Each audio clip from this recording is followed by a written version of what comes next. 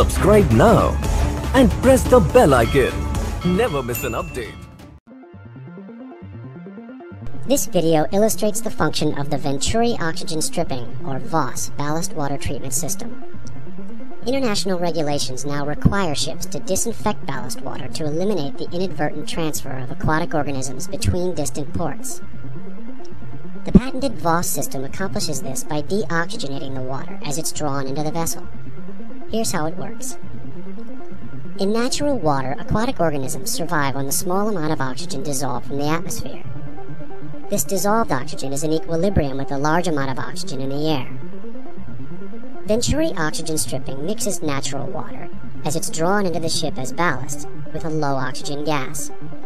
This low oxygen gas strips the dissolved oxygen out of the water. By the time that mixture gets to the ballast tanks, a new low oxygen equilibrium is established between the low oxygen gas and the water. Here's how that happens. The source of this oxygen stripping gas is an efficient high temperature burner called the stripping gas generator.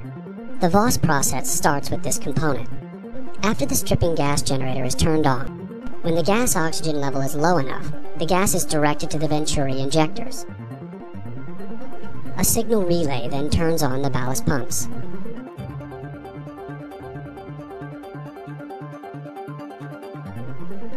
As ballast water passes through the Venturi injectors, the gas is mixed into the water.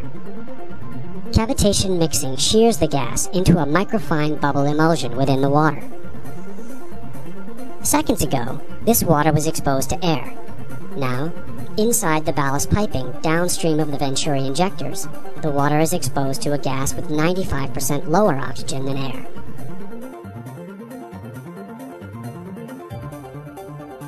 Now as low oxygen gas bubbles pass through the water piping, dissolved oxygen in the water diffuses from the water phase into the gas phase, as a new equilibrium is established with 95% lower dissolved oxygen in the water. The gas strips oxygen out of the water. At the same time, a small amount of carbon dioxide and nitrogen gas pass from the gas phase into the liquid phase.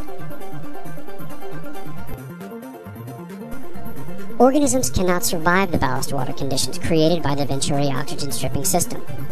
Independent shipboard testing has shown that ballast water treated with the VOS system consistently meets the discharge standards of the International Maritime Organization for all regulated organisms. In the ballast tanks, gas bubbles rise to the surface and gas is vented above the deck.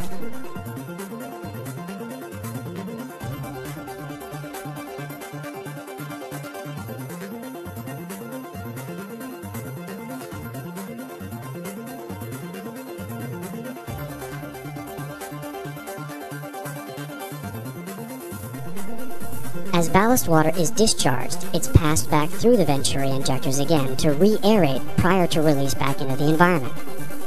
Simultaneously, as ballast tanks are emptied, the low oxygen gas is introduced to permanently maintain a low oxygen condition in the ballast tanks. There is another important benefit to this element of the VOS treatment. Permanently inerting ballast tanks has been shown to virtually eliminate corrosion. A humid, aerated ballast tank is one of the most corrosive environments on Earth. Damage to ballast tank coatings and steel can cost millions of dollars to repair. And in the end, the life of a ship is often determined by the life of the ballast tanks. But by maintaining a low oxygen environment in ballast tanks, the VOS system can significantly extend coating life and reduce corrosion by up to 85%.